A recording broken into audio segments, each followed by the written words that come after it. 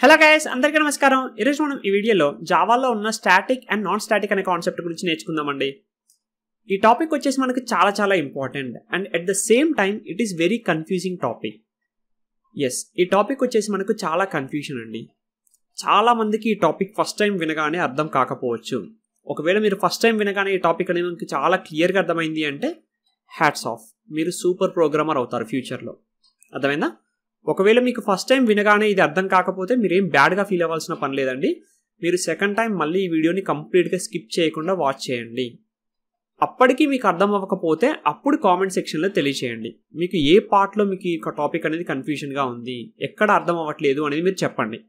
అంతేకాని ఒకటోసారి చూసేసి ఇమీడియట్గా మీరు కామెంట్ చేయకండి వీడియో మీద. ఇది నా సిన్సియర్ రిక్వెస్ట్ మీరు ఒకటోసారి చూసి ఇమీడియట్గా నాకు ఈ టాపిక్ అనేది అర్థం కాలేదు అని చెప్పేసి కామెంట్ సెక్షన్లో చెప్పొద్దు. ఒకటోసారి మీకు ఇది అర్థం కాకపోతే అప్పుడు మళ్ళీ ఒకసారి చూడండి వీడియో మొత్తాన్ని. అప్పటికి మీకు అర్థం అవ్వకపోతే అప్పుడు కామెంట్ సెక్షన్లో చెప్పండి. అంతేకాని ఫస్ట్ టైం చూసేసి ఇమీడియట్గా కామెంట్ సెక్షన్లో కామెంట్ చేయకూడదు. ఎందుకంటే ఈ టాపికే అలాంటిదనమాట ఫస్ట్ టైం చూడగానే చాలామందికి అర్థం అవ్వకపోవచ్చు. ఈవెన్ నేను డైరెక్ట్గా నా ఫ్రెండ్స్కి ఎక్స్ప్లెయిన్ చేసినప్పుడు కూడా వాళ్ళకి చాలామందికి అర్థం అవ్వలేదు. సో అలాంటిది మీరు ఇప్పుడు వీడియో చూస్తున్నారు యూట్యూబ్లో వీడియో చూస్తున్నారు. నేను డైరెక్ట్గా మీకు ఎక్స్ప్లెయిన్ చేయట్లేదు కదా మీ ముందు కూర్చోండి సో మీరు యూట్యూబ్లో వీడియో చూస్తున్నారు. సో కన్ఫ్యూషన్ అనేది ఉండొచ్చు. నేను మ్యాక్సిమం ఆ కన్ఫ్యూషన్ అనేది లేకుండా క్లియర్గా ఎక్స్ప్లెయిన్ చేయడానికి ట్రై చేస్తాను. But there are some topics అవి ఎంత బాగా ఎక్స్ప్లెయిన్ చేసినా కన్ఫ్యూషన్ అనేది ఒకటి క్రియేట్ అవుతుంది ఫస్ట్ టైం చూసినప్పుడు. సో ఇది కూడా అలాంటి టాపిక్ అనమాట సో అందుకే మళ్ళీ మళ్ళీ చెప్తున్నాను. ఫస్ట్ టైం చూడగానే మీకు అర్థం కాకపోతే మీరేం ప్యానిక్ అవ్వద్దు. అదేవిధంగా ఇమీడియట్గా కామెంట్ సెక్షన్లో చెప్పకూడదు. సెకండ్ టైం చూసిన తర్వాత అప్పటికి మీకు అర్థం అవ్వకపోతే ఏ పార్ట్లో మీకు అర్థం అవ్వట్లేదు అనేది మీరు కామెంట్ సెక్షన్లో చెప్పాలి. అప్పుడు నేను ఏదైనా సజెషన్ చేయగలుగుతాను. ఓకేనా అండ్ ఆల్సో మీకు ఈ టాపిక్ అనేది క్లియర్గా అర్థం అవ్వాలి అంటే క్లాస్ అండ్ ఆబ్జెక్ట్ అనే ఒక టాపిక్ మనం ఆల్రెడీ మాట్లాడుకున్నాం. అవునా? సో ఆ టాపిక్ మీరు చూసిన తర్వాత ఈ వీడియోని చూడండి. ఈ టాపిక్కి ఆ టాపిక్కి మనకు చాలా ఇంటర్ రిలేషన్ అనేది ఉంటుంది ఇంటర్నల్గా ఓకేనా సో ఈ టాపిక్ని మీరు మళ్ళీ మళ్ళీ చూడండి అండ్ అర్థం చేసుకోవడానికి ట్రై చేయండి. అండ్ ఇంకొక ఇంపార్టెంట్ విషయం అండి. ఒకవేళ మీ దగ్గర టైం అనేది సఫిషియెంట్గా లేకపోతే ఈ టాపిక్ని మీరు రేపు చూడండి లేదా ఎల్లుండి చూడండి. మీరు క్లియర్ మైండ్ తోటి మీకు సఫిషియెంట్ టైం ఉంది అన్నప్పుడు మాత్రమే ఈ టాపిక్ని చూడండి. ఓకేనా? సో అంత ఇంపార్టెంట్ అనమాట ఇది. సో ఈ టాపిక్ నేర్చుకోకుండా మనం ప్రోగ్రామర్ అవ్వలేమా అంటే అవ్వచ్చండి. ఇది ఇంపార్టెంట్ టాపికే. బట్ కంపల్సరీగా అందరూ నేర్చుకోవాలి అని చెప్పేసి నేను చెప్పను. ఈ టాపిక్ ఇంపార్టెంట్ అయినా కానీ అందరికీ అవసరం లేదు ఇది. ఎవరైతే వెరీ గుడ్ ప్రోగ్రామర్ అవ్వాలి అనుకుంటున్నారో అది డెవలపర్ అయినా సరే ఆటోమేషన్ టెస్టర్ అయినా సరే ఎవరైతే సూపర్ అవ్వాలనుకుంటున్నారో ఆ ప్రోగ్రామింగ్లో వాళ్ళకి మాత్రం ఈ టాపిక్ చాలా చాలా ఇంపార్టెంట్. ఈ టాపిక్ నేర్చుకోకపోతే మీరు ప్రోగ్రామర్ అవ్వచ్చు కానీ సూపర్ ప్రోగ్రామర్ అవ్వరు. దెర్ ఇస్ ఎ డిఫరెన్స్ ప్రతి ఒక్కరు కూడా ప్రోగ్రామర్ అవుతారండి. జావా నేర్చుకున్న వాళ్ళు ప్రతి ఒక్కరు కూడా ప్రోగ్రామర్ అవుతారు. బట్ సూపర్ ప్రోగ్రామర్ అనేది అందరు అవ్వరు. ఓన్లీ కొంతమంది మాత్రమే అవుతారు. వాళ్ళే ఈ ఇన్డెప్త్ నాలెడ్జ్ నేర్చుకున్న వాళ్ళు. అర్థమైందా? సో ప్రతి ఒక్క టాపిక్ని కూడా మనం ఇన్డెప్త్గా మెమొరీ మేనేజ్మెంట్ పాయింట్ ఆఫ్ వ్యూలో నేర్చుకుంటేనే సూపర్ ప్రోగ్రామర్ అనేది అవ్వచ్చు. ఒకవేళ మీరు జావా డెవలపర్ అయినా సరే రేపు పెద్ద పెద్ద అప్లికేషన్స్ డెవలప్ చేసేటప్పుడు మీరు ఎక్కడ స్టాటిక్ వాడాలి ఎక్కడ నాన్ స్టాటిక్ వాడాలి ఎప్పుడు షేర్డ్ మెమొరీ అవసరము ఎప్పుడు అవసరం లేదు. సో ఇలాంటివన్నీ మీకు తెలిసి ఉండాలన్నమాట. And at the same time మీరు ఆటోమేషన్ టెస్టర్ అయినా సరే మీకు ఇది అవసరం లేదు అని మీరు ఫీల్ అవ్వకూడదు. ఆటోమేషన్ టెస్టింగ్లో కూడా మీరు ఫ్రేమ్ వర్క్స్ డెవలప్ చేస్తూ ఉంటారు తర్వాత. అవునా? సో ఫ్రేమ్ వర్క్స్ డెవలప్ చేసేటప్పుడు మీకు స్టాటిక్ అండ్ నాన్ స్టాటిక్ అనే దానికి డిఫరెన్స్ అనేది తెలియకపోతే మీరు తయారు చేసే ఫ్రేమ్వర్క్ అనేది చాలా చాలా చాలా వరస్ట్ ఫ్రేమ్వర్క్ అని చెప్పొచ్చు. డైరెక్ట్గా చెప్తున్నాను నేను ఓకేనా? మీరు తయారు చేసే ఫ్రేమ్వర్క్ అనేది చాలా వరస్ట్ ఫ్రేమ్వర్క్ అని చెప్పొచ్చు. సో అంత ఇంపార్టెంట్ ఇది. ఆటోమేషన్ టెస్టర్స్కి అవసరం లేదు ఇలా అనేం లేదు. బట్ మీరు ఏదో జస్ట్ నార్మల్గా జావా నేర్చుకోవాలి అనుకుంటే మాత్రం మీకు ఇది అవసరం లేదండి. సూపర్ ప్రోగ్రామర్ కాకుండా నార్మల్గా నేను ఏదో జావా నేర్చుకోవాలి జస్ట్ అన్నట్లుగా మీరు అనుకుంటే మాత్రం ఈ టాపిక్ మీకు అవసరం లేదు. ఓకేనా? సో మన అజెండా వచ్చేసి ఇదండి. ఫస్ట్ మనకు స్టాటిక్ అంటే ఏంటి అనేది నేర్చుకుందాం. స్టాటిక్ అనేది ఏంటి? నాన్ స్టాటిక్ అనేది ఏంటి అనేది నేర్చుకుందాం. ఆ తర్వాత ఈ స్టాటిక్ అనేది మనం ఎలా స్పెసిఫై చేయాలి? స్టాటిక్ అయినా సరే నాన్ స్టాటిక్ అయినా సరే మనం ఎలా స్పెసిఫై చేయాలి? జావాలో మనకి ఏమేమి ఉంటాయండి? క్లాస్ లోపల ఉండే మెంబర్స్ ఏంటి మనకు? Variables methods and blocks. అవునా? సో ఈ వేరియబుల్స్కి కానీ మెథడ్స్కి కానీ బ్లాక్స్కి కానీ ఈ స్టాటిక్ అండ్ నాన్ స్టాటిక్ అనేది ఎలా స్పెసిఫై చేయాలి? ఇది స్టాటిక్ వేరియబుల్ ఇది నాన్ స్టాటిక్ వేరియబుల్ అని ఎలా చెప్పాలి అనేది చూద్దాం. అండ్ అలా మనం ఏదైనా డిఫైన్ చేసిన తర్వాత వాటిని మనం ఎలా యాక్సెస్ చేయాలి? ఇప్పుడు నాన్ స్టాటిక్ అయితే ఎలా యాక్సెస్ చేయాలి? అదేవిధంగా స్టాటిక్ అయితే ఎలా యాక్సెస్ చేయాలి? మనకు వాటి రెండింటికి మధ్యలో ఏమైనా డిఫరెన్స్ ఉందా యాక్సెస్ చేసేటప్పుడు? ఒకవేళ ఉంటే ఏంటి ఆ డిఫరెన్స్ ఒకవేళ లేకపోతే ఎందుకు లేదు? ఇలాంటివి కూడా నేర్చుకోవాలి. అండ్ లాస్ట్లో మనము మెమొరీ మేనేజ్మెంట్ కూడా అర్థం చేసుకుందాం. అంటే ఈ స్టాటిక్ అండ్ నాన్ స్టాటిక్కి అసలు ఎందుకు ఇలాంటి డిఫరెన్స్ వచ్చింది? అసలు ఈ టాపిక్ రావడానికి మెయిన్ ఏంది రీజన్ ఏంది అనేది కూడా మనం అర్థం చేసుకుందాం. ఓకేనా? సో ఈ పాయింట్స్ అన్నీ కూడా నేను ఇన్డెప్త్గా చాలా క్లియర్గా ఎక్స్ప్లెయిన్ చేస్తాను. కన్ఫ్యూజన్ లేకుండా ఉండేలాగా ఎక్స్ప్లెయిన్ చేయడానికి ట్రై చేస్తాను. బట్ స్టిల్ ఒకవేళ మీరు కన్ఫ్యూజ్ అయితే మాత్రం please excuse me okay? So first మనకు స్టాటిక్ అంటే ఏంటి? సో ఈ స్టాటిక్ అంటే ఏంటి అనేది నేర్చుకోవడానికన్నా ముందు మనం క్లాస్ అండ్ ఆబ్జెక్ట్ గురించి మాట్లాడుకుందాం. మనం ఆల్రెడీ ప్రీవియస్గా క్లాస్ అండ్ ఆబ్జెక్ట్ గురించి మాట్లాడుకున్నాం. అవునా? క్లాస్ అంటే ఏంటండి మనకు? మనం ఏదైనా variables and methods information store చేసుకోవాలి ఒక బ్లూ ప్రింట్ లాగా అనుకుంటే మనం క్లాస్ అనేది యూజ్ చేసుకుంటాం. అవునా? Java is a object oriented programming language అంటే జావాలో మనం ఏదైనా సరే ఆబ్జెక్ట్స్ లాగా డీల్ చేయాలి. బట్ ఒక ఆబ్జెక్ట్ అనేది మనం క్రియేట్ చేయాలి అంటే ఫస్ట్ మనకు బ్లూ ప్రింట్ అనేది ఉండాలి. సో రియల్ వరల్డ్లో ఎలా అయితే మనకు ఆబ్జెక్ట్స్ ఉన్నాయో అలా మనం జావాలో కూడా ఆబ్జెక్ట్స్తో డీల్ చేస్తాం. బట్ అలాంటి ఒక ఆబ్జెక్ట్ మనకు కావాలి అంటే ఫస్ట్ మనకు బ్లూ ప్రింట్ అనేది కావాలి. సో ఆ బ్లూ ప్రింటే క్లాస్ అనమాట రైట్ సో క్లాస్లో మనకి ఏమేమి ఉంటాయి? వేరియబుల్స్ మెథడ్స్ కన్స్ట్రక్టర్స్ అదేవిధంగా బ్లాక్స్ ఇవి ఉంటాయి మనకు. మెయిన్గా చెప్పాలంటే వేరియబుల్స్ అండ్ మెథడ్స్ రెండే ఉంటాయి. ఓకేనా సో క్లాస్లో మనకి ఈ మెంబర్స్ ఏదైతే ఉన్నాయో ఈ మెంబర్స్ని మనం యాక్సెస్ చేయాలి అంటే అంటే ప్రోగ్రామ్ ఎగ్జిక్యూషన్ చేసేటప్పుడు ఈ వేరియబుల్స్ని కానీ ఈ మెథడ్స్ని కానీ మనం యాక్సెస్ చేయాలంటే మనం ఏం చేయాలి? మెమోరీ అనేది క్రియేట్ చేయాలి మనం. అవునా? మెమోరీ అనేది అలొకేషన్ చేయకుండా జావాలో మనం ఏది కూడా యాక్సెస్ చేయలేము. ఈ పాయింట్ మీరు బాగా గుర్తుపెట్టుకోండి. జావాలో మనం ఏ ఆపరేషన్ పర్ఫామ్ చేయాలనుకున్నా సరే మెమోరీ అనేది మనం క్రియేట్ చేయాలన్నమాట. మెమోరీ అనేది మనం అలొకేట్ చేయాలి. మెమొరీ అలొకేషన్ అనేది లేకుండా జావాలో మనం ఎలాంటి ఆపరేషన్ కూడా పర్ఫామ్ చేయలేము. క్లియరా వేరియబుల్ని యాక్సెస్ చేయలేము మెథడ్ని యాక్సెస్ చేయలేము ఏదైనా ఇన్స్ట్రక్షన్ని ఎగ్జిక్యూషన్ చేయలేము ఏది చేయలేము మనం. జావాలో మనం ఓన్లీ కంపైలేషన్ తప్ప ఎగ్జిక్యూషన్కి సంబంధించి మనం ఏది చేయలేము అనమాట మెమొరీ అనేది క్రియేట్ చేయకుండా మనం ఏ ఆపరేషన్ కూడా పర్ఫామ్ చేయలేము. ఇది మనకు మెయిన్ ప్రిన్సిపల్ ఓకేనా సో ఇప్పుడు మెమొరీ అనేది మనం ఎలా క్రియేట్ చేస్తాం? అక్కడే మనం ఆబ్జెక్ట్ క్రియేషన్ చేస్తాం. అవునా?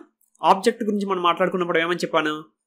మనం ఏదైనా ఒక క్లాస్కి మెమొరీ అలకేట్ చేయాలి అంటే మనం ఆబ్జెక్ట్ క్రియేషన్ చేయాలి అని చెప్పాను. ఎప్పుడైతే నువ్వు ఒక క్లాస్కి ఆబ్జెక్ట్ అనేది క్రియేట్ చేస్తావో అప్పుడు క్లాస్లో ఉన్న మెంబర్స్ అన్నిటికీ కూడా మెమొరీ అనేది అలకేట్ అవుతుంది. రైట్ అంటే క్లాస్లో ఉన్న వేరియబుల్స్కి కానీ మెథడ్స్కి కానీ బ్లాక్స్కి కానీ కన్స్ట్రక్టర్కి కానీ దేనికైనా సరే మనకు మెమొరీ అనేది అలకేట్ అవుతుంది. కరెక్టా సో ఈ మెమొరీ అలొకేషన్కి మనకు ఓన్లీ ఆబ్జెక్ట్ క్రియేషనే చేయాలా అంటే నో ఓన్లీ ఆబ్జెక్ట్ క్రియేషన్ మాత్రమే కాదు. మనకు ఇంకొక వే కూడా ఉంది. ఆ వేనే ఈ స్టాటిక్ అనేది అనమాట బేసిక్గా జావా అనేది డిజైన్ చేసినప్పుడు వాళ్ళకు ఒక ప్రాబ్లం కూడా వచ్చింది. ఏంటి అంటే మనం ఈ స్టాటిక్ అనేది లేకపోతే ఓకేనా? ఇమాజిన్ మనం స్టాటిక్ అనేది లేదు ఫస్ట్ జావాని స్టాటిక్ లేకుండా డెవలప్ చేశారు. సో మనం ఏదైనా ఒక క్లాస్ క్రియేట్ చేసినప్పుడు దాన్ని ఎగ్జిక్యూషన్ చేయాలంటే దానికి ఒక ఎంట్రీ పాయింట్ అనేది కావాలి ఫస్ట్ అవునా? సో మనకి ఇక్కడ ఎంట్రీ పాయింట్ అనేది ఏముంటుంది యూజువల్గా క్లాసెస్లో మెయిన్ మెథడ్ అనేది మనకు ఎంట్రీ పాయింట్ రైట్ సో ఈ మెయిన్ మెథడ్ అనేది ఎంట్రీ పాయింట్ అని చెప్పి జావాకి అర్థమైంది. బట్ దాన్ని ఎగ్జిక్యూషన్ చేయాలి అంటే అంటే ఆ మెయిన్ మెథడ్ని మనం ఎగ్జిక్యూషన్ చేయాలి అంటే ఆ మెయిన్ మెథడ్కి ఫస్ట్ మెమొరీ అలొకేషన్ జరిగి ఉండాలి. అవునా? మన మెమొరీలో మెమొరీ అనేది అలొకేట్ చేసి ఉండాలి ఆ మెయిన్ మెథడ్కి బట్ మనం ఏదైనా ఒక క్లాస్ని ఎగ్జిక్యూషన్ చేసేటప్పుడు ఆబ్జెక్ట్ క్రియేషన్ చెయ్యం మనం. చేస్తామా? డైరెక్ట్గా మెయిన్ మెథడ్ని ఎగ్జిక్యూషన్ చేస్తాం. అవునా? సో మెయిన్ మెథడ్ని ఎగ్జిక్యూషన్ చేయాలి అనుకుంటే నువ్వు ఆబ్జెక్ట్ క్రియేషన్ చేయకపోతే మెయిన్ మెథడ్ని ఎలా ఎగ్జిక్యూషన్ చేస్తావు? ఇందాక నేను చెప్పిన స్టేట్మెంట్ ఏంటి? జావాలో మనం ఏం ఎగ్జిక్యూషన్ చేయాలన్నా కానీ మనకు మెమొరీ అనేది అలకేట్ అయ్యి ఉండాలి అని చెప్పి చెప్పాను. రైట్ సో ఇక్కడ మీకు మెయిన్ మెథడ్ అనేది ఎగ్జిక్యూట్ అవ్వాలి అంటే ఆ మెయిన్ మెథడ్కి మెమొరీ అనేది ఫస్ట్ అలకేట్ అయ్యి ఉండాలి. ఆ మెయిన్ మెథడ్కి మెమొరీ అలకేట్ అవ్వాలి అంటే ఆబ్జెక్ట్ క్రియేషన్ చేయాలి. బట్ ఆబ్జెక్ట్ క్రియేషన్ చేయాలి అంటే అది కూడా ఒక ఇన్స్ట్రక్షనే కదా? క్రియేషన్ ఆఫ్ ఆబ్జెక్ట్ అనేది కూడా మనకి జావాలో ఒక ఇన్స్ట్రక్షనే సో ఆ ఇన్స్ట్రక్షన్ ఎగ్జిక్యూషన్ జరగాలన్నా కానీ మనకు మెమొరీ అనేది అలకేట్ అయ్యి ఉండాలి ఆ క్లాస్కి సో మళ్ళీ ఇది లైక్ సర్క్యులర్ డిపెండెన్సీ కదా. అవునా? మెయిన్ మెథడ్ ఎగ్జిక్యూషన్ జరగాలి అంటే ఆబ్జెక్ట్ క్రియేషన్ జరగాలి. ఆబ్జెక్ట్ క్రియేషన్ జరగాలి అంటే మళ్ళీ మనకు మెమరీ అలకేట్ అయి ఉండాలి క్లాస్కి సో ఎలా చూసినా మళ్ళీ మనకు అక్కడికే వస్తుంది అనమాట రైట్ సో ఇలాంటి ఒక ప్రాబ్లమ్ని సాల్వ్ చేయడం కోసం జావా ఏం చేసిందంటే ఆబ్జెక్ట్ క్రియేషన్ చేయకుండా కూడా మెమొరీ అనేది అలకేషన్ చేయడానికి మనకు ఒక వే అనేది ప్రొవైడ్ చేసింది. ఆ వేనే స్టాటిక్ అనమాట క్లియర్ ఇప్పుడు?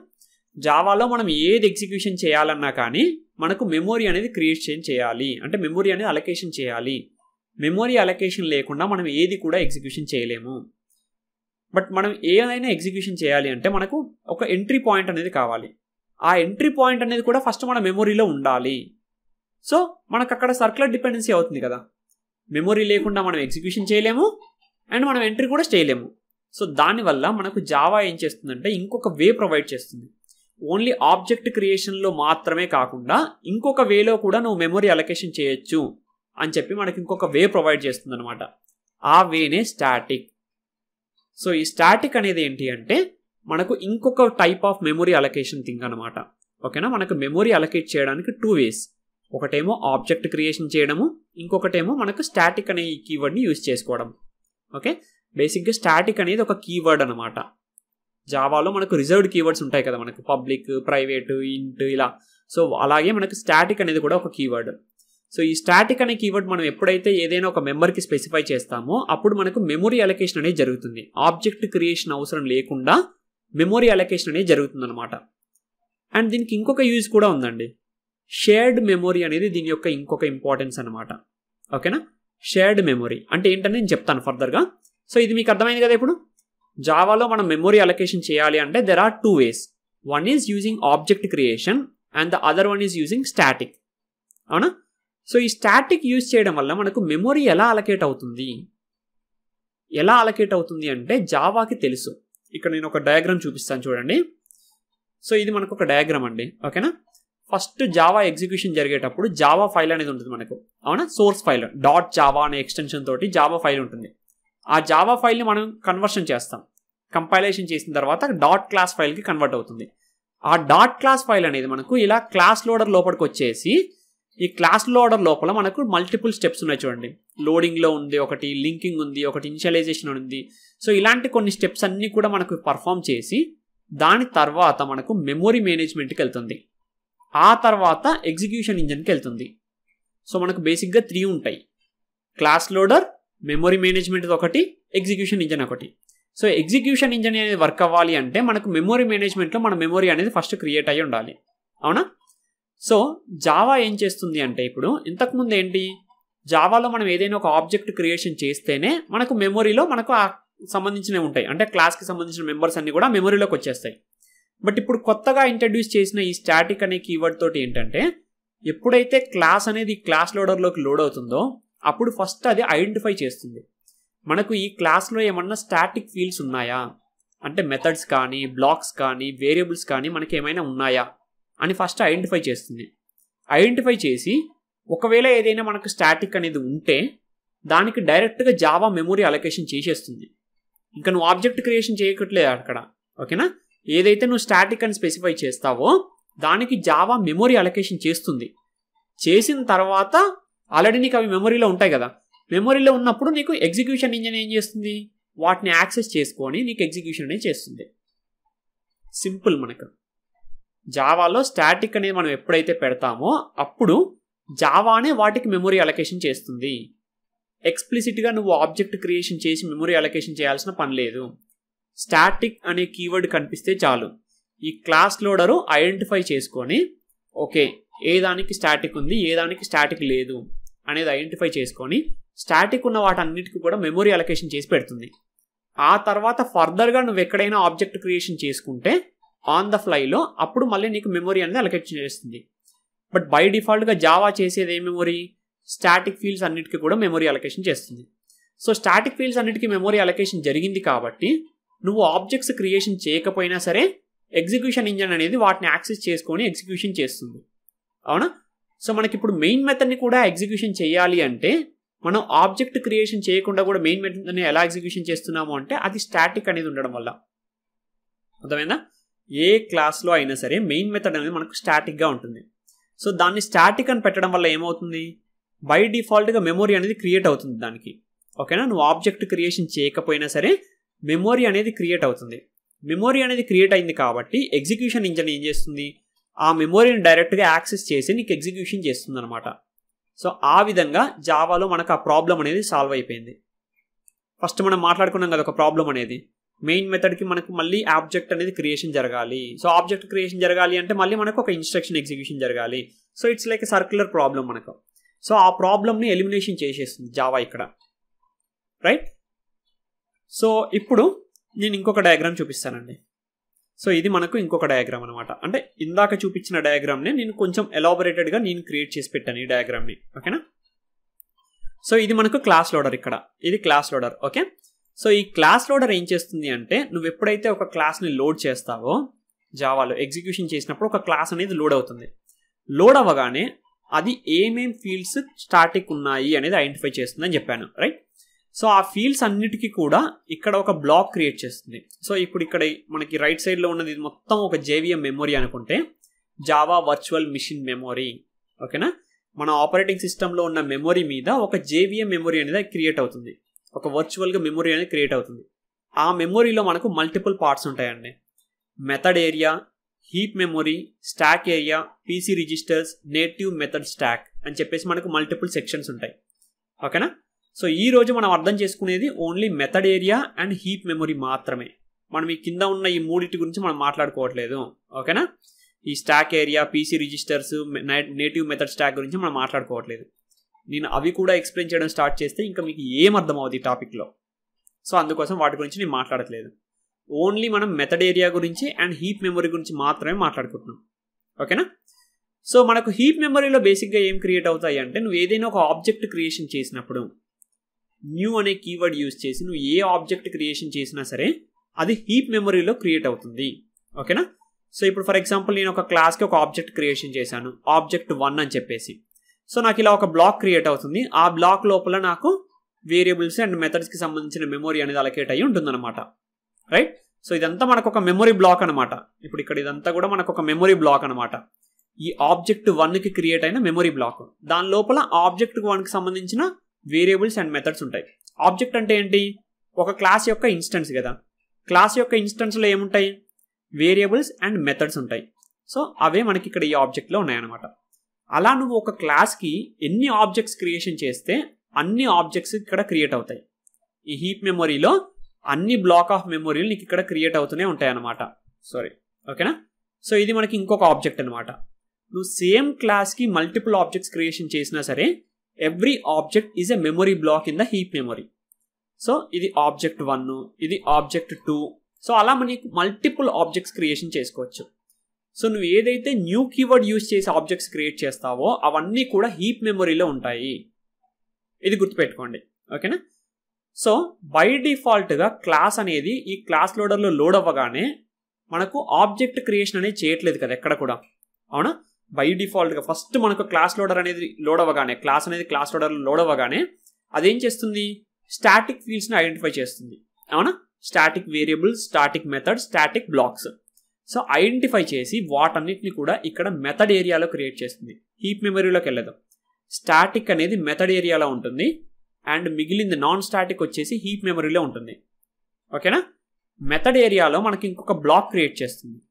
కాకపోతే ఇక్కడ ఒక డిఫరెన్స్ ఉందండి. ఏంటంటే ఇక్కడ హీప్ మెమరీలో నువ్వు ఒక క్లాస్కి ఎన్ని ఆబ్జెక్ట్స్ క్రియేషన్ చేస్తే అన్ని బ్లాక్స్ ఆఫ్ మెమరీ క్రియేట్ అవుతూ ఉంటుంది. అవునా?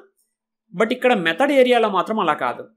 ఒక క్లాస్కి ఒక్క బ్లాక్ మాత్రమే క్రియేట్ అవుతుంది. నువ్వు ఎంటైర్ ఎగ్జిక్యూషన్ చేసేటప్పుడు నీ జావాలో ఆ క్లాస్ని నువ్వు హండ్రెడ్ టైమ్స్ లోడ్ చేసినా సరే నీకు ఒకటే ఒక బ్లాక్ ఆఫ్ మెమొరీ అనేది క్రియేట్ అవుతుంది ఆ క్లాస్కి. మల్టిపుల్ బ్లాక్స్ అనేది క్రియేట్ అవ్వదు. గుర్తుపెట్టుకోండి. ఓకేనా? ఒకటే ఒక బ్లాక్ ఆఫ్ మెమరీ అనేది క్రియేట్ అవుతుంది. సో అందుకే ఇక్కడనేమో క్లాస్ అని రాసాం చూసారా? ఇక్కడ క్లాస్ అని రాసాము బట్ ఇక్కడ ఆబ్జెక్ట్ అని రాసాము. ఇక్కడ హీప్ మెమొరీలో ప్రతి ఆబ్జెక్ట్కి మెమొరీ ఉంటుంది ఒక బ్లాక్ బట్ ఇక్కడ ఒక క్లాస్కి ఒక మెమొరీ బ్లాక్ ఉంటుంది అంతే. ఆ క్లాస్ను నువ్వు మళ్ళీ ఒకసారి ఎగ్జిక్యూషన్ చేసినా కానీ సేమ్ ఉంటుంది.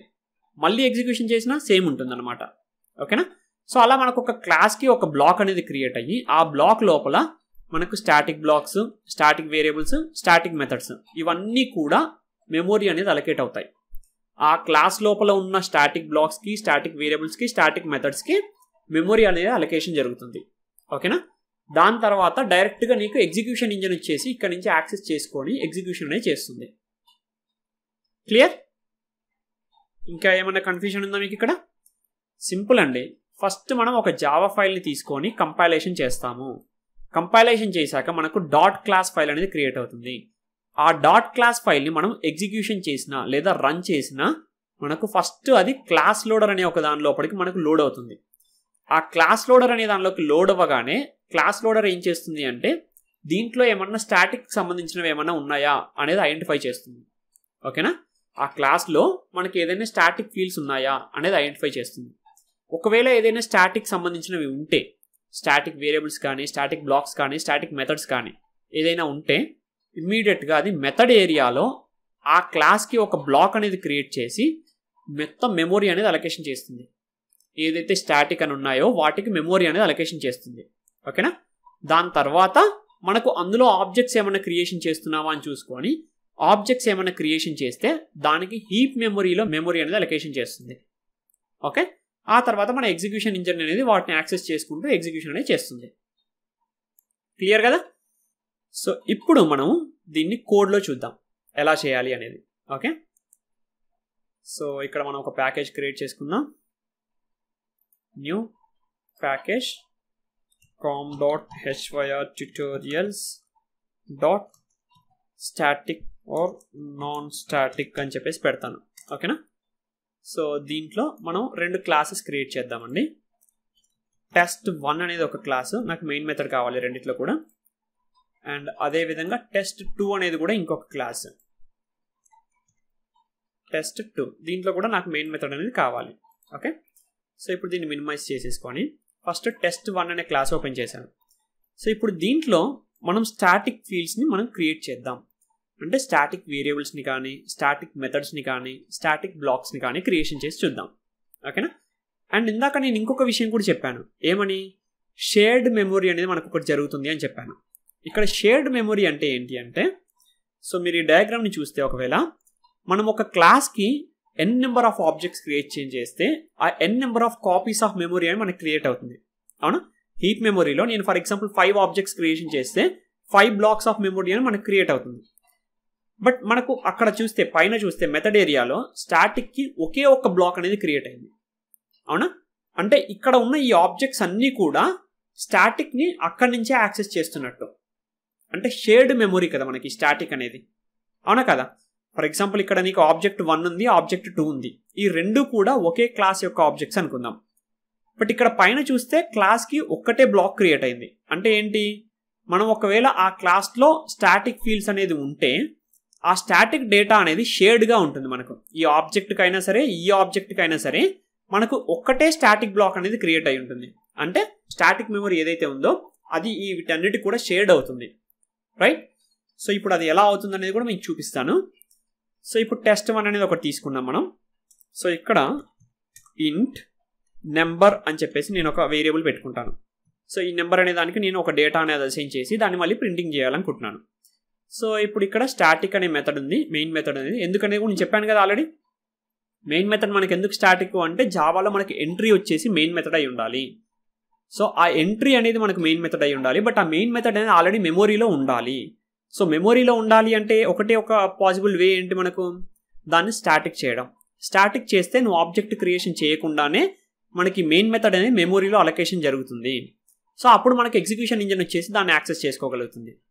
క్లియర్ సో ఇప్పుడు దీని లోపల నేను టెస్ట్ వన్ అనే దానికి ఆబ్జెక్ట్స్ క్రియేషన్ చేస్తాను చూడండి. T one equals new test one T one dot number equal నేను ఇక్కడ ఏం చేస్తానంటే దీనికి ఒక నెంబర్ అనేది అసైన్ చేస్తానండి. సో మనం ఏ నెంబర్ అసైన్ చేద్దామంటే ర్యాండమ్గా ఒక నెంబర్ అసైన్ చేద్దాం. మనం ర్యాండమ్ నెంబర్ అసైన్ చేయడానికి మనకు ఒక లాజిక్ ఉంది జావాలో సో ర్యాండమ్ అనే ఒక క్లాస్ ఉందన్నమాట. సో ఆ ర్యాండమ్ అనే క్లాస్లోంచి మనం ర్యాండమ్ నెంబర్ జనరేట్ చేయొచ్చు. So new random dot next int అన్నాం అనుకోండి మనకు ఒక ర్యాండమ్ ఇంటీజర్ నెంబర్ అనేది క్రియేట్ అవుతుంది. అంటే every time you execute the same program నీకు డిఫరెంట్ డిఫరెంట్ నెంబర్స్ వస్తూ ఉంటాయి. సో ర్యాండమ్ నెంబర్ అనేది మనకి జనరేట్ అవుతుంది ఇక్కడ. ఓకేనా సో ఇప్పుడు దీన్ని నేను ఒక త్రీ టైమ్స్ కాపీ చేసి పెడతాను ఇక్కడ.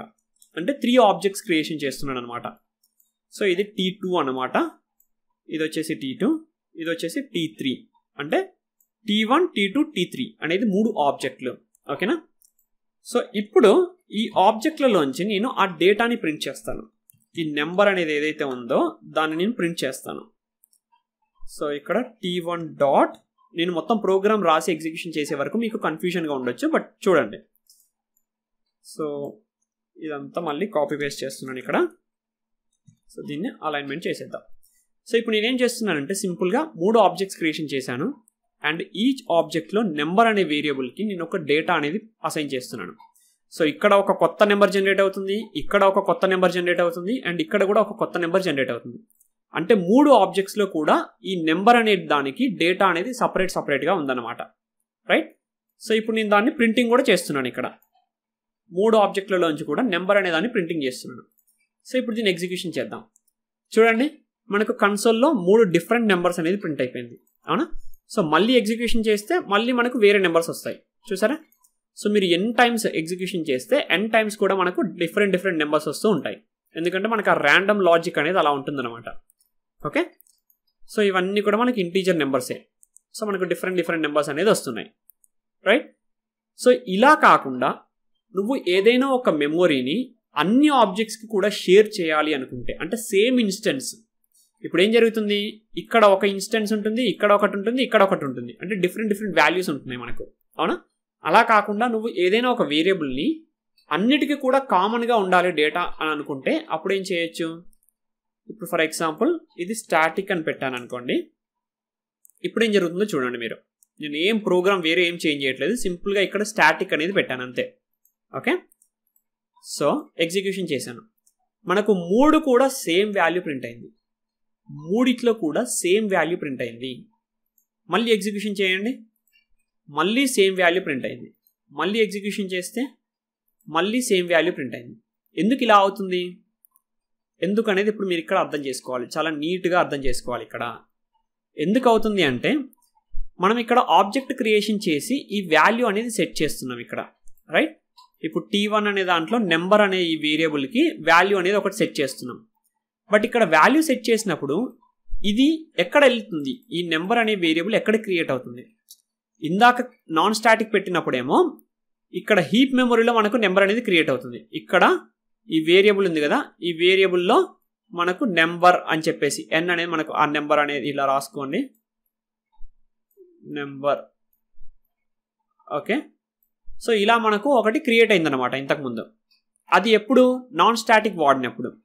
నాన్ స్టాటిక్ అని పెట్టి మనం ఆబ్జెక్ట్ క్రియేషన్ చేసినప్పుడు మనకు హీప్ మెమొరీలో ఆబ్జెక్ట్ అనేది క్రియేట్ అయ్యి దాంట్లో మనకు డేటా అనేది క్రియేట్ అవుతుంది. అవును? మెమొరీ అనేది అలొకేట్ అవుతుంది. బట్ ఇప్పుడు మనం ఆ నెంబర్ అనే దాన్ని స్టాటిక్ చేసాం ఇది స్టాటిక్ ఫీల్డ్ అయింది ఇప్పుడు. సో ఈ స్టాటిక్ ఫీల్డ్ అనేది ఎక్కడ క్రియేట్ అవుతుంది? హీప్ మెమొరీలో క్రియేట్ అవ్వదు ఇప్పుడు. ఓకేనా? ఇప్పుడు హీప్ మెమొరీలో క్రియేట్ అవ్వదు ఇది. ఇది వచ్చేసి ఇక్కడ మనకు ఈ మెథడ్ ఏరియాలో క్రియేట్ అవుతుంది. ఈ మెథడ్ ఏరియాలో నెంబర్ అనేది ఒకటి క్రియేట్ అవుతుంది. అండ్ మనకు అది ఒకటే కాపీ ఉంటుంది. సో నువ్వు ఎన్ని ఆబ్జెక్ట్స్ క్రియేషన్ చేసినా సరే ఇక్కడ ఎన్ని ఆబ్జెక్ట్స్ క్రియేషన్ చేసి మనం డేటాను సెట్ చేయడానికి ట్రై చేసినా అక్కడ మనకు ఒకటే కాపీ ఉంటుంది కాబట్టి ఆ కాపీలోకే డేటా అనేది మళ్ళీ మళ్ళీ అప్డేషన్ జరుగుతుంది. సో ఓవరాల్గా నీకు నెంబర్ అనే దాంట్లో ఒకటే వాల్యూ ఉంటుంది అప్పుడు. ఇందాకనేమో ఆబ్జెక్ట్స్ క్రియేషన్ చేసినప్పుడు నీకు మల్టిపుల్ ఇన్స్టెన్సెస్ ఉన్నాయి కాబట్టి మల్టిపుల్ వాల్యూస్ ఉన్నాయి నెంబర్ అనే దానికి. బట్ ఇప్పుడు అలా కాదు. అన్నీ కూడా అంటే ప్రతి ఒక్క ఆబ్జెక్ట్ కూడా నీకు పైన ఉన్న ఈ స్టాటిక్ నెంబర్ అనే దాన్ని మాత్రమే యాక్సెస్ చేస్తుంది అనమాట సో షేరింగ్ జరుగుతుంది అక్కడ మెమొరీ అనేది. రైట్? సో ఒకటే ఫీల్డ్ క్రియేట్ అవుతుంది. Because it is a static static field కాబట్టి ఓన్లీ వన్స్ క్రియేట్ అయ్యి ఆ దానికే డేటా అనేది నువ్వు మళ్ళీ మళ్ళీ రీసెట్ చేస్తున్నావు అక్కడ. నీకు multiple copies of number create అవ్వదు ఇక్కడ. Because it is a static. Static అనేది మనకి ఓన్లీ వన్సే క్రియేట్ అవుతుందని చెప్పాను. రైట్? సో స్టాటిక్ అనేది ఓన్లీ వన్స్ క్రియేట్ అవ్వడం వల్ల నువ్వు ప్రతిసారి డేటాను సెట్ చేసినప్పుడు ఓవర్ రైడింగ్ అవుతుంది ఇక్కడ. నువ్వు ఫస్ట్ క్రియేట్ చేసి పెట్టిన దాని మీద ఓవర్ రైడింగ్ జరుగుతుంది సో ఓవరాల్గా ఫైనల్గా ఏదైతే డేటా ఉందో ఆ డేటానే నీకు ప్రింటింగ్ జరుగుతుంది. ఓకేనా సో అందువల్లనే నీకు ఇక్కడ ఆబ్జెక్ట్స్ మీద మనం ఇలా యాక్సెస్ చేసినా కానీ మనకు ఒకటే వాల్యూ వస్తుంది. సో దీన్నే మెమొరీ షేరింగ్ అంటాం అనమాట అర్థమైందా? నువ్వు ఏదైతే ఒక ఫీల్డ్ని స్టాటిక్ అని చెప్పి చెప్తావో ఆ ఫీల్డ్లో ఉన్న డేటా అనేది మనకు ఆల్ ద ఆబ్జెక్ట్స్కి షేర్ అవుతూ ఉంటుంది. ఆ క్లాస్ యొక్క ఆల్ ద ఆబ్జెక్ట్స్కి మెమొరీ అనేది షేర్ అవుతుంది అక్కడ.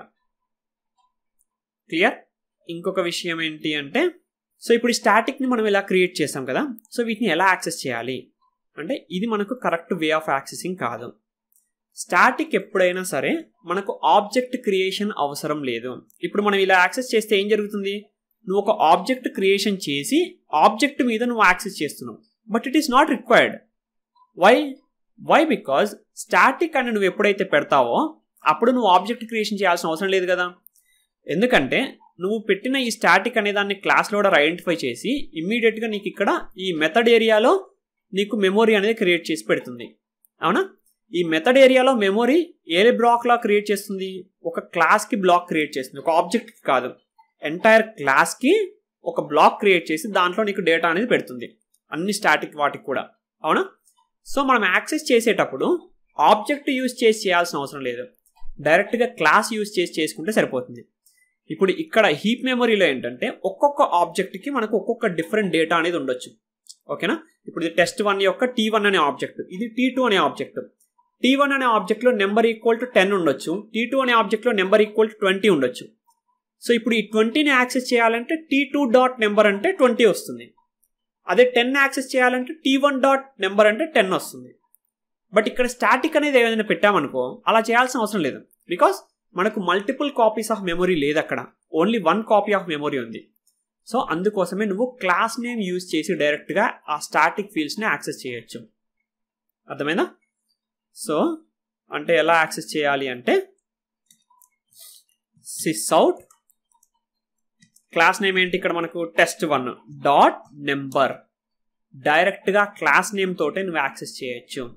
నాన్ స్టాటిక్ వాటిని నువ్వు ఇలా యాక్సెస్ చేయలేవు. అర్థమైందా? ఇప్పుడు నువ్వు ఫర్ ఎగ్జాంపుల్ దీన్ని నాన్ స్టాటిక్ చేస్తే మనకి ఇక్కడ ఎర్రర్ వస్తుంది చూడండి. Cannot make a static reference to the non static field అంటుంది.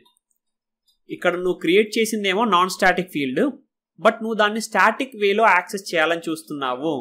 అది పాసిబుల్ అవ్వదు అని చెప్తుంది. ఓకేనా?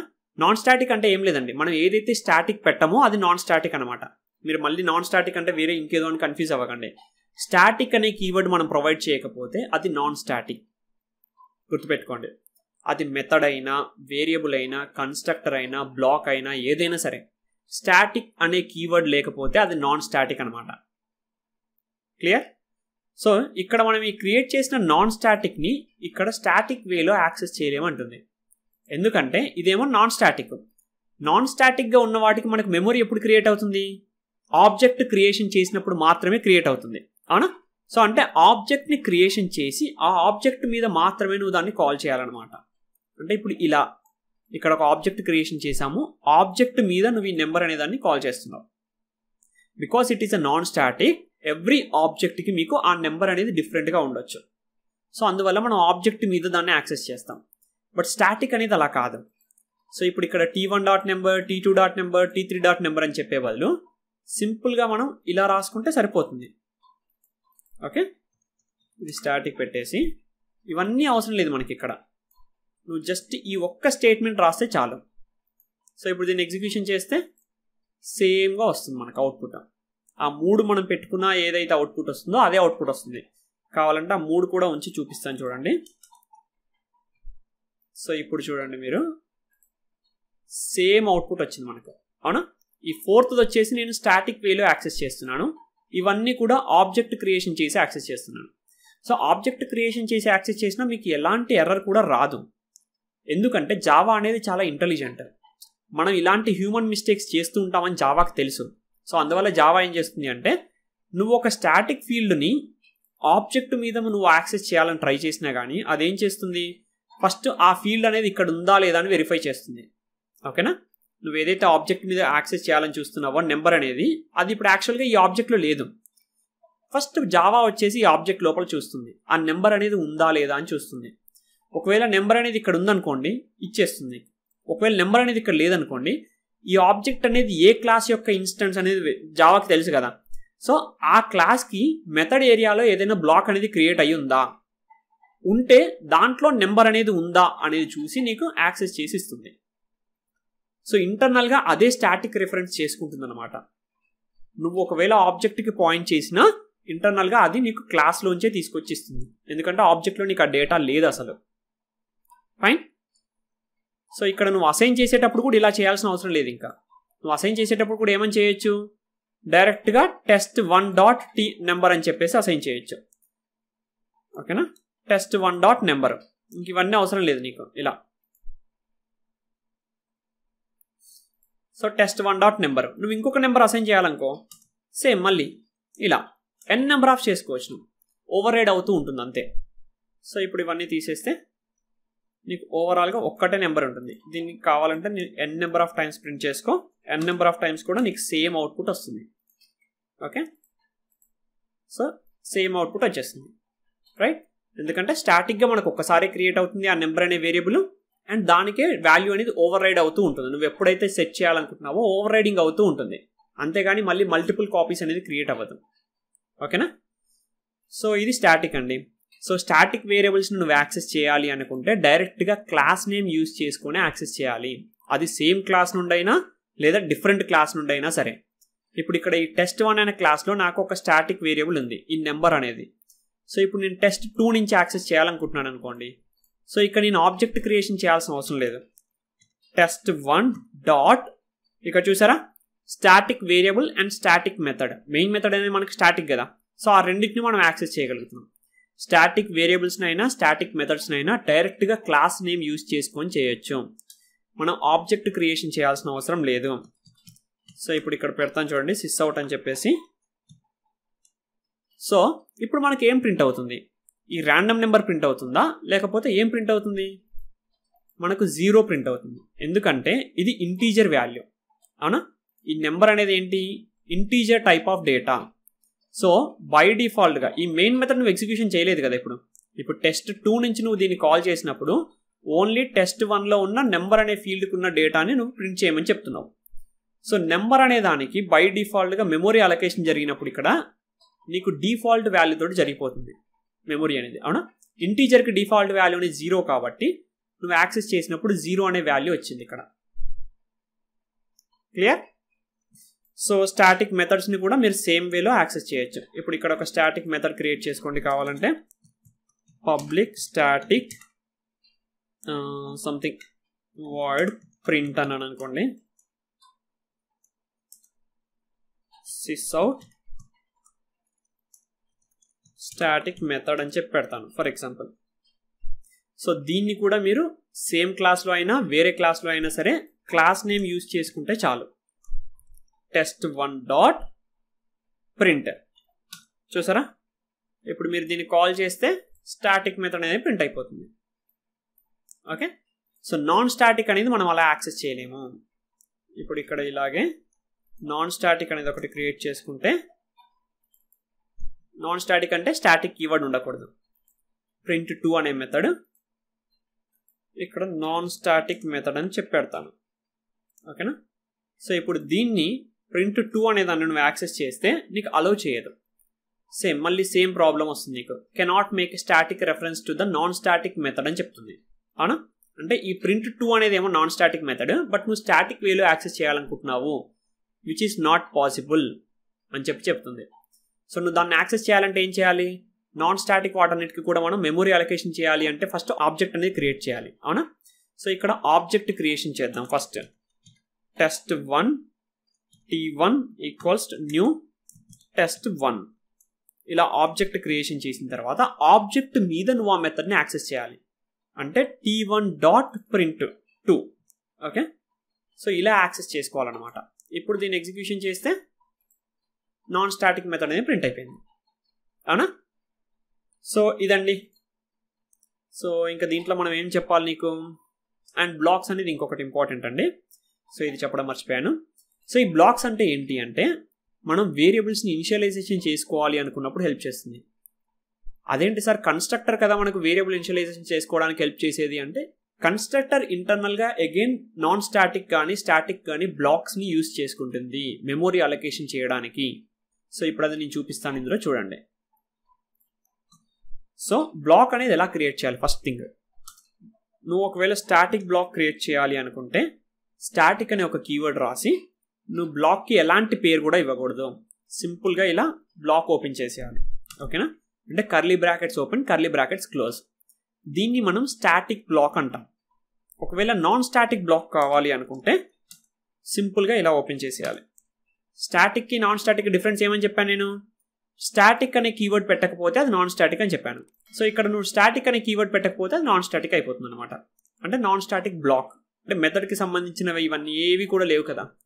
నేమ్ లేదు యాక్సెసిబిలిటీ మాడిఫైర్ లేదు రిటర్న్ టైప్ లేదు ఏది లేదు. సో అప్పుడు ఇది నీకు ఏమవుతుంది అంటే బ్లాక్ అవుతుంది. ఓకేనా? It is not a constructor also because constructor అంటే ఏంటి?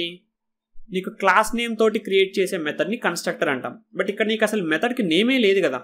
అందుకే దీన్ని మనం బ్లాక్ అంటాం అనమాట static block and non static block static అనే కీవర్డ్ పెడితేనేమో స్టాటిక్ బ్లాక్ అవుతుంది. నాన్ స్టాటిక్ అనేది ఉంటేనేమో నాన్ స్టాటిక్ అవుతుంది. అంటే స్టాటిక్ అనే కీవర్డ్ లేకపోతే నాన్ స్టాటిక్ బ్లాక్ అవుతుంది. ఓకేనా? సో ఇప్పుడు ఇక్కడ కన్స్ట్రక్టర్ కూడా యాడ్ చేసి నీకు ఫ్లో మొత్తం చూపిస్తాను యాక్చువల్గా ఎలా ఉంటుంది అనేది టెస్ట్ టూ సో వీటిల్లో మనం ఏం చేద్దామంటే సింపుల్గా సిస్అవుట్ స్టేట్మెంట్స్ పెట్టుకుందామండి.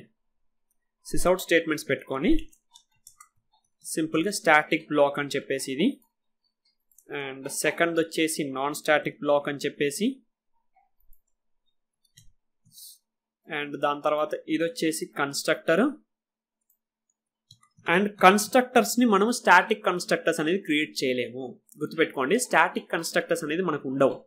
ఓకేనా? ఓన్లీ నాన్ స్టాటిక్ మాత్రమే ఉంటుంది. స్టాటిక్ అనేది ఉండదు. మీరు కావాలంటే ఇక్కడ స్టాటిక్ అని పెట్టి చూస్తే మనకు ఎర్రర్ వస్తుంది. చూడండి. ఇక్కడ మనం ఇలా పెడితే ఏమంటుంది? Illegal modifier for the constructor అని చెప్తుంది. Only public protected and private మాత్రమే పెట్టొచ్చు. అవి కాకుండా నువ్వు ఇంకేది కూడా పెట్టకూడదని చెప్తుంది. రైట్ సో కన్స్ట్రక్టర్స్లో మనకు స్టాటిక్ అనేది ఉండవు.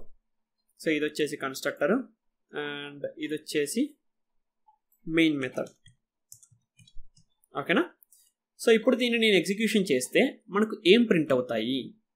ఒకసారి ఎవరైనా గెస్ట్ చేయగలరా? ఏం ప్రింట్ అవుతాయా? నేను ఇప్పుడు ఇదంతా కూడా చెప్పాను కదా. ఈ మెమొరీ వైజ్ కానీ ఇదంతా కూడా చెప్పాను కదా. ఇప్పుడు ఎవరైనా గెస్ట్ చేయగలరా? ఏం జరుగుతుంది అనేది.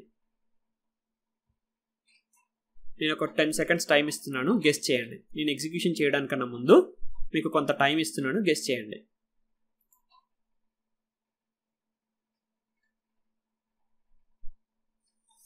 సో ఇప్పుడు ఎగ్జిక్యూషన్ చేసి చూద్దామా?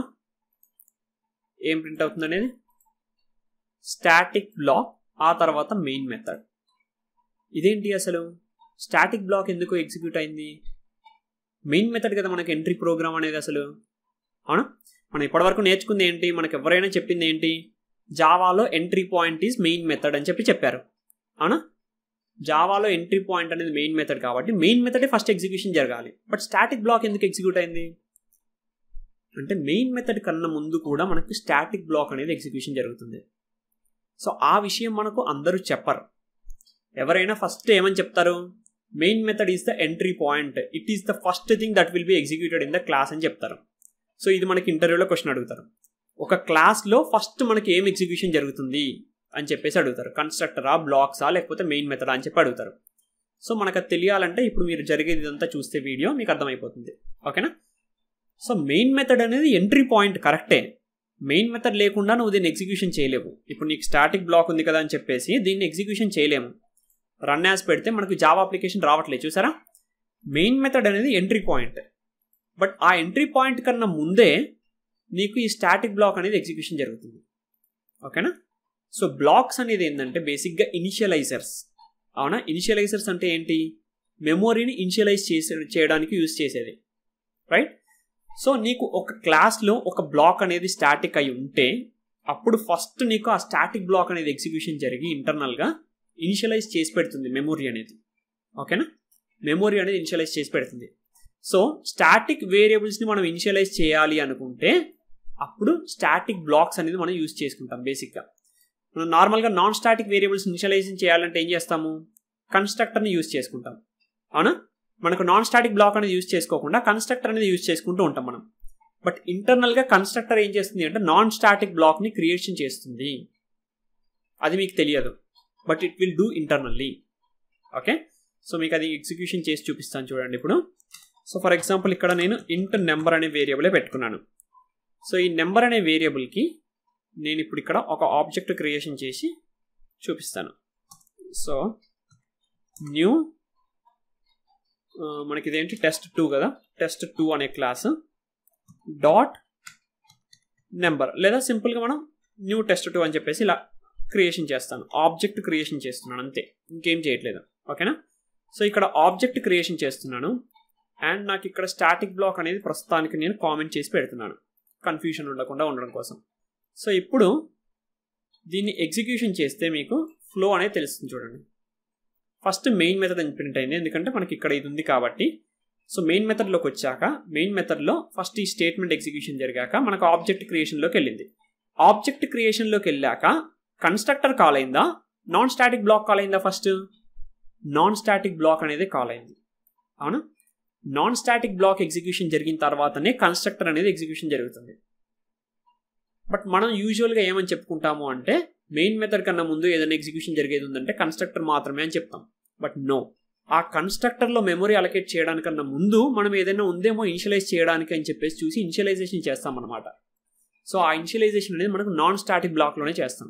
అందుకోసమే కన్స్ట్రక్టర్ కన్నా ముందు కూడా మనకు నాన్ స్టాటిక్ బ్లాక్ అనేది ఎగ్జిక్యూషన్ జరిగింది. ఒకవేళ నువ్వు ఇక్కడ ఆబ్జెక్ట్ క్రియేషన్ అనేది తీసేస్తే ఈ నాన్ స్టాటిక్ బ్లాక్ అనేది ఎగ్జిక్యూషన్ జరగదు ఇంకా. ఓన్లీ ఆబ్జెక్ట్ క్రియేషన్ చేసినప్పుడే నీకు జరుగుద్ది అది కూడా. ఇప్పుడు చూడండి ఓన్లీ మెయిన్ మెథడ్ ఒకటే వచ్చింది. నాన్ స్టాటిక్ బ్లాక్ అనేది ఎగ్జిక్యూషన్ జరగలేదు. అవునా?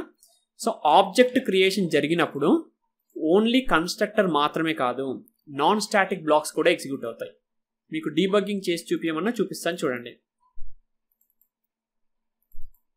సో ఇప్పుడు దీన్ని డీబగ్గింగ్ చేస్తాను. సో ఫస్ట్ మనకు మెయిన్ మెథడ్ లోపలికి వచ్చింది. తర్వాత నేను ఇక్కడ ఎఫ్ సిక్స్ ప్రెస్ చేస్తే ఇక్కడికి వచ్చింది. ఇప్పుడు నేను ఎఫ్ ఫైవ్ ప్రెస్ చేయాలి. అవునా? ఎఫ్ ఫైవ్ ప్రెస్ చేస్తే కన్స్ట్రక్టర్ దగ్గరికి వెళ్ళింది పాయింట్ అనేది. రైట్ బట్ కన్స్ట్రక్టర్ ఎగ్జిక్యూషన్ చేయదు. చూడండి ఇప్పుడు. ఇప్పుడు ఎఫ్ సిక్స్ ప్రెస్ చేస్తాను చూడండి. ఇమ్మీడియట్గా నాన్ స్టాటిక్ బ్లాక్కి వెళ్ళింది మనకు అది అవునా కన్స్ట్రక్టర్లో ఈ లైన్ ఎగ్జిక్యూషన్ చేయలేదు. కన్స్ట్రక్టర్ లోడ్ అయినప్పుడే ఇమ్మీడియట్గా అది వెరిఫై చేసుకుంటుంది. యూజర్ డిఫైన్ చేసిన నాన్ స్టాటిక్ బ్లాక్స్ ఏమైనా ఉన్నాయా? లేవా? అని చూసుకుంటుంది. ఒకవేళ యూజర్ డిఫైన్ చేసిన నాన్ స్టాటిక్ బ్లాక్స్ అనేది ఉంటే వాటిని ఎగ్జిక్యూషన్ చేస్తుంది. వాటి తర్వాతనే కన్స్ట్రక్టర్ ఎగ్జిక్యూషన్ అనేది జరుగుతుంది. సో ఇప్పుడు ఇది అయిపోయిన తర్వాత కన్స్ట్రక్టర్లోకి వచ్చింది చూసారా? సో ఇది నాన్ స్టాటిక్కి ఉండే బిహేవియర్ అనమాట రైట్ సో ఇప్పుడు నాన్ స్టాటిక్ అనేది మనం ఇక్కడ ఒకవేళ నాన్ స్టాటిక్ బ్లాక్ అనేది మనం యూజువల్గా పెట్టుకోము. ఒకవేళ పెట్టుకున్నా ప్రాబ్లం లేదు. యూజర్ నాన్ స్టాటిక్ బ్లాక్ అనేది యూజ్ చేసుకుంటే కన్స్ట్రక్టర్ యూజర్ ప్రొవైడ్ చేసిన నాన్ స్టాటిక్ బ్లాక్ అనేది తీసుకుంటుంది. లేదు అంటే డిఫాల్ట్గా ఉన్నదాన్ని తీసుకుంటుంది. సో ఇక్కడ ఒకవేళ నేను కన్స్ట్రక్టర్లో ఇది పెట్టకుండా ఈ నెంబర్ అనే దాన్ని నేను ఇక్కడే డిఫైన్ చేశాను అనుకుందాం. అంటే ఇనిషియలైజేషన్ ఇక్కడే చేశాను అనుకుందాం. నెంబర్ ఈక్వల్ టు టెన్ అని చెప్పేసి. It's a valid thing. Okay? So ఇప్పుడు ఎగ్జిక్యూషన్ చేస్తే మనకు మెయిన్ మెథడ్ అండ్ కన్స్ట్రక్టర్ అనేది వచ్చింది. అండ్ దీని మీద మనకు దీన్ని ఒకవేళ కావాలంటే స్టోర్ చేసుకోండి. ఆబ్జెక్ట్ అనేది టీ వన్ అని చెప్పేసి స్టోర్ చేసుకొని సిస్ అవుట్లో నెంబర్ అనేది కూడా పెట్టవచ్చు okay so t one dot number అంటే మనకు నెంబర్ అనేది ప్రింట్ అయిపోతుంది. ఇప్పుడు దీన్ని రన్ చేస్తాను. చూడండి టెన్ అనేది వచ్చింది. సో నీకు నాన్ స్టాటిక్ ఏదైతే ఫీల్డ్ ఉందో దాన్ని నువ్వు ఇక్కడ ఇనిషియలైజ్ చేసావు కన్స్ట్రక్టర్లో రైట్ బట్ అదే ఒకవేళ నీకు స్టాటిక్ ఫీల్డ్ అయితే దీన్ని కన్స్ట్రక్టర్లో నువ్వు ఇనిషియలైజ్ చేయకూడదు. ఇలా. చేసినా నీకేం ప్రాబ్లం రాదు. నీకు ఎలాంటి ఇష్యూ కూడా త్రో చేయదు అది. కన్స్ట్రక్టర్ అనేది మనకి ఎందుకు సూటబుల్ కాదు స్టాటిక్ ఫీల్డ్స్కి అంటే స్టాటిక్ ఫీల్డ్స్ అనేది ఏంటి మనకు? ఒకే ఒక్కసారి ఇనిషియలైజేషన్ జరుగుతాయి క్లాస్ లోపల. నువ్వు ఎన్నిసార్లు క్లాస్ లోడ్ చేసినా కానీ ఒకే ఒక్కసారి మనకు లోడ్ అవుతుంది అది. అవునా? సో అలాంటప్పుడు నువ్వు దాన్ని ఎక్కడ పెట్టాలి? కన్స్ట్రక్టర్లో పెడితే ఏం జరుగుతుంది? ఆబ్జెక్ట్ క్రియేషన్ చేసిన ప్రతిసారి కూడా ఈ ఇన్స్ట్రక్షన్ అనేది ఎగ్జిక్యూషన్ జరుగుతుంది. అవునా? ఈ ఇన్స్ట్రక్షన్ అనేది మనకి ఎగ్జిక్యూషన్ జరుగుతుంది. ఆబ్జెక్ట్ క్రియేషన్ చేసిన ప్రతిసారి కూడా. సో అందుకోసమే దాన్ని మనం ఏం చేయాలంటే కన్స్ట్రక్టర్లో పెట్టకుండా స్టాటిక్ బ్లాక్లో పెట్టుకోవాలి. స్టాటిక్ బ్లాక్లో పెట్టుకుంటే ఏమవుతుందంటే స్టాటిక్ బ్లాక్ అనేది మనకు ఎంటైర్ క్లాస్ లోడ్ అయినప్పుడు ఒకే ఒక్కసారి లోడ్ అవుతుంది. నువ్వు హండ్రెడ్ ఆబ్జెక్ట్స్ క్రియేషన్ చేసుకున్నా సరే ఇంటర్నల్గా ఒకే ఒక్కసారి స్టాటిక్ బ్లాక్ అనేది లోడ్ అవుతుంది. సో ఇప్పుడు దీంట్లో పెట్టుకోవాలన్నమాట మనం దాన్ని. అర్థమైందా? దీంట్లో పెట్టుకుంటే మనకు అది ఒకే ఒక్కసారి లోడ్ అవుతుంది. రైట్ సో ఇప్పుడు మీకు కావాలంటే నేను ఒక టెన్ ఆబ్జెక్ట్స్ ఇలా క్రియేషన్ చేసి చూపిస్తాను. ఇప్పుడు ఇది మనకు అవసరం లేదు బేసిక్గా ఓన్లీ ఈ లైన్ మాత్రం నేను ఇలా పెడతాను. ఒక ఫైవ్ తీసుకుందాం. టెన్ ఎందుకులే కానీ ఒక ఫైవే తీసుకుంటాను నేను. Three four and five so five objects creation చేస్తున్నాను నేను. ఇక్కడ నాన్ స్టాటిక్ బ్లాక్ని కూడా పెడతాను ఇప్పుడు. ఓకేనా? నాన్ స్టాటిక్ బ్లాక్ని కూడా పెట్టేసి మీకు చూపిస్తాను. ఏది ఎన్నిసార్లు ఎగ్జిక్యూషన్ జరుగుతుంది అనేది మీకు చూపిస్తాను చూడండి. సో ఇది వచ్చేసి నాన్ స్టాటిక్ బ్లాక్ అండ్ దీంట్లోంచి దీన్ని తీసేస్తాను. సో ఇప్పుడు దీన్ని ఎగ్జిక్యూషన్ చేస్తే స్టాటిక్ బ్లాక్ అనేది ఓన్లీ స్టార్టింగ్లో ఒక్కసారి మాత్రమే ఎగ్జిక్యూషన్ జరిగింది. దాని తర్వాత మనకు మెయిన్ మెథడ్లోకి వచ్చింది non static block constructor non static block constructor non static constructor non static constructor so మనం ఎన్ని ఆబ్జెక్ట్స్ అయితే క్రియేషన్ చేసామో అన్నిటికీ కూడా స్టా non static block and constructor load అయింది బట్ ఓవరాల్గా ఒకే ఒక్కసారి మాత్రం స్టాటిక్ బ్లాక్ లోడ్ అయింది అవునా? అంటే స్టాటిక్ డేటా ఏదైనా నువ్వు ఇనిషియలైజేషన్ చేయాలి అనుకుంటే అప్పుడు స్టాటిక్ బ్లాక్స్లో మాత్రమే చేయాలి. బికాస్ మనకు అది మెమోరీని సేవ్ చేసి పెడుతుంది. అదే నువ్వు కన్స్ట్రక్టర్లో చేస్తే ఏం జరుగుతుంది? ప్రతిసారి కూడా ఇన్స్ట్రక్షన్ నీకు ఎగ్జిక్యూషన్ జరుగుతుంది. డిసడ్వాంటేజ్ ఏం లేదు ఓవరాల్గా చెప్పాలంటే. ఇన్స్ట్రక్షన్ ఎగ్జిక్యూషన్ జరిగినా కానీ నీకు అదే ఉంటుంది. ఓకేనా? డేటా అనేది నీకు అదే సెట్ అవుతుంది. కాకపోతే ప్రతిసారి ఇన్స్ట్రక్షన్ ఎగ్జిక్యూషన్ చేయడం ఎందుకు? వేస్ట్ ఆఫ్ టైం కదా నీకు. సో అందుకోసమే ఓన్లీ ఒక్కసారి మాత్రమే మనం వాటిని ఇనిషియలైజ్ చేసుకుంటాం. యూజింగ్ స్టాటిక్ బ్లాక్ అనమాట ఇలా you can have n number of static blocks. You can have n number of static blocks ఇలా. ఓకేనా? ఎన్ అంటే అని పెట్టుకోవచ్చు. సో డూప్లికేషన్ జరుగుతుంది కదా? ఇది మనకి ఎర్రర్ త్రో చేయదా అంటే ఎలాంటి ఎర్రర్ కూడా త్రో చేయదు. మరి ఎగ్జిక్యూషన్ అనేది ఎలా జరుగుతుంది అంటే నువ్వు ఏ ఆర్డర్లో అయితే మెన్షన్ చేసావో అదే ఆర్డర్లో నీకు ఎగ్జిక్యూషన్ జరుగుతుంది. ఓకేనా? సో ఇప్పుడు ఇది టూ ఇది త్రీ అనుకోండి. సో ఇప్పుడు ఇది ఇదే ఆర్డర్లో ఉన్నాయి కదా అదే ఆర్డర్లో నీకు ఎగ్జిక్యూషన్ జరుగుతాయి చూడండి. Block one block two block three ఒకవేళ నువ్వు దీన్ని తీసుకెళ్ళి పైన పెట్టావే అనుకుందాం. ఈ బ్లాక్ వన్ కన్నా ముందు పెట్టావా అనుకుందాం. అప్పుడు బ్లాక్ త్రీనే ఫస్ట్ ఎగ్జిక్యూషన్ జరుగుతుంది. ఓకేనా? So block three block one block two అంటే నువ్వు ఏ ఆర్డర్లో అయితే మెన్షన్ చేసావో అదే ఆర్డర్లో ఎగ్జిక్యూషన్ జరుగుతాయి. మనకు మెథడ్స్ అనేవి అలా కాదు. నువ్వు ఎక్కడ ఏం పెట్టుకున్నా పర్లేదు. నువ్వు కాల్ చేసిన ఆర్డర్లో ఎగ్జిక్యూషన్ జరుగుతుంది. బట్ నువ్వు డిఫైన్ చేసిన ఆర్డర్లో కాదు కదా. కానీ స్టాటిక్ బ్లాక్స్ అనేది అలా కాదు. నువ్వు ఏ ఆర్డర్లో అయితే డిఫైన్ చేసావో అదే ఆర్డర్లో ఎగ్జిక్యూషన్ జరుగుతూ ఉంటుందన్నమాట. ఓకేనా? అండ్ ఇంకొక చిన్న విషయం అండి. ఇది మీకు అర్థమయ్యి ఉండాలి బట్ మీకు అర్థం అవ్వకపోతే ఇప్పుడు అర్థం చేసుకోండి. ఏంటంటే ఫస్ట్ ఇదంతా తీసేద్దాం. సో ఇలా పెట్టేసి నేను ఇక్కడ ఒక మెథడ్ క్రియేట్ చేస్తాను. పబ్లిక్ వాయిడ్ ప్రింట్ అని ఇలా ఒక మెథడ్ క్రియేట్ చేసి ఇప్పుడు ఈ మెథడ్ని మెయిన్ మెథడ్ లోపల వాడుకోవాలి అంటే ఆబ్జెక్ట్ క్రియేషన్ చేయాలి అని చెప్తుంది మనకు. అవునా? సో ఇప్పుడు చూడండి కావాలంటే. ఆబ్జెక్ట్ క్రియేషన్ చేయమని చెప్తుంది. ఎందుకు అంటే ఈ మెథడ్కి మెమొరీ అనేది అలకేట్ అవ్వలేదు. బట్ బై డిఫాల్ట్గా ఈ మెథడ్కి మెమొరీ అలకేషన్ జరగాలని ట్రై చేస్తుంది. అవునా? సో ఇప్పుడు మెయిన్ మెథడ్కి మెమొరీ అలొకేషన్ జరగడానికి ట్రై చేసేటప్పుడు మెయిన్ మెథడ్ లోపల నీకు మెమొరీ అలొకేషన్ జరగంది ఏదన్నా ఉందనుకోండి నీకు ఎర్రర్ త్రో చేస్తుంది కదా. అవునా? సో కంప్లీట్గా మెయిన్ మెథడ్కి మెమొరీ ఎలా అలకేట్ అవుతుంది అప్పుడు? అవ్వదు కదా. రైట్ సో అందుకోసమే నువ్వు ఇక్కడ ఆబ్జెక్ట్ క్రియేషన్ చేసావనుకో టెస్ట్ టూ అని ఇలా పెట్టావనుకో అప్పుడు ఏం జరుగుతుంది? ఈ మెయిన్ మెథడ్కి కంప్లీట్గా మెమొరీ అనేది అలకేట్ అవుతుంది. ఎందుకంటే ఇక్కడ ఈ ప్రింట్ అనే దానికి కూడా నీకు ఆబ్జెక్ట్ క్రియేషన్ చేసావు కింద. అవునా? అంటే హీప్ మెమొరీలను నువ్వు ఆబ్జెక్ట్ క్రియేషన్ చేసావు. సో ఈ ప్రింట్ అనే దానికి మెమొరీ అనేది ఉంది. అండ్ ఈ ప్రింట్ అనే దాన్ని నువ్వు మెయిన్ మెథడ్లో కాల్ చేస్తున్నావు. సో దీనికి మొత్తం మెమొరీ అనేది అలకేట్ అవుతుంది. సో అది మనకు అందుకోసమే ఎప్పుడైనా సరే నాన్ స్టాటిక్ వాటిని స్టాటిక్లో డైరెక్ట్గా కాల్ చేయలేము. బట్ స్టాటిక్ని నాన్ స్టాటిక్లో డైరెక్ట్గా కాల్ చేయొచ్చు. ఇప్పుడు ఇక్కడ నువ్వు కావాలంటే మెయిన్ మెథడ్ని కాల్ చేయొచ్చు. ఎలాంటి ప్రాబ్లం కూడా లేదనమాట ఓకేనా? మెయిన్ మెథడ్ని కాల్ చేయొచ్చు. ఎందుకంటే మెమొరీ అలొకేషన్ జరిగిన వాటిని మెమొరీ అలొకేషన్ జరగని వాటిలో కాల్ చేయొచ్చు. బట్ మెమొరీ అలొకేషన్ జరగని వాటిని మాత్రం మెమొరీ అలొకేషన్ జరిగిన వాటిలో కాల్ చేయకూడదు. అందుకోసమే స్టాటిక్ వాటిలో నాన్ స్టాటిక్ని కాల్ చేయకూడదు. బట్ నాన్ స్టాటిక్లో స్టాటిక్ని కాల్ చేయొచ్చు.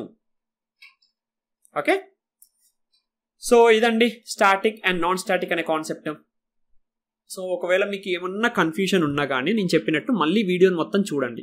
ఇప్పుడు ఒకసారి మొత్తం విని ఉంటారు కదా? సో మళ్ళీ చూస్తే మీకు డాట్స్ అనేది అన్ని కనెక్ట్ అవుతాయి. ప్రతి ఒక్క గ్యాప్ మీకు ఎక్కడెక్కడ గ్యాప్ అనిపిస్తుందో అదంతా కూడా కనెక్ట్ అవుతుంది. ఓకే? సో మళ్ళీ ఒకసారి ఎక్స్ప్లెయిన్ చేస్తాను చూడండి. దీని మీద మీకు అసైన్మెంట్ ఏం లేదు. ఓకేనా? అసైన్మెంట్ నేను ఏమి ఇవ్వట్లేదు దీని మీద. మళ్ళీ ఒకసారి ఎక్స్ప్లెయిన్ చేస్తాను చూడండి. స్టాటిక్ అనేది మనకి ఎందుకు వచ్చింది అంటే మనం జావాలో ఏదైనా సరే ఎగ్జిక్యూషన్ చేయాలి అంటే ఫస్ట్ అది మెమోరీ అలొకేషన్ జరిగి ఉండాలి. కానీ మెమొరీ అలొకేషన్ జరగాలి అంటే మళ్ళీ మనం ఆబ్జెక్ట్ క్రియేషన్ జరగాలి. సో ఆబ్జెక్ట్ క్రియేషన్ చేయడం అనేది కూడా మనకు ఒక ఇన్స్ట్రక్షన్ కాబట్టి ఆబ్జెక్ట్ క్రియేషన్ చేయడం అనే ఇన్స్ట్రక్షన్ ఎలా ఎగ్జిక్యూట్ అవుతుంది? అవ్వదు కదా. ఎందుకంటే ఆ మెథడ్ అనేది మనకు ఫస్ట్ మెమొరీలో లేదు. అవునా?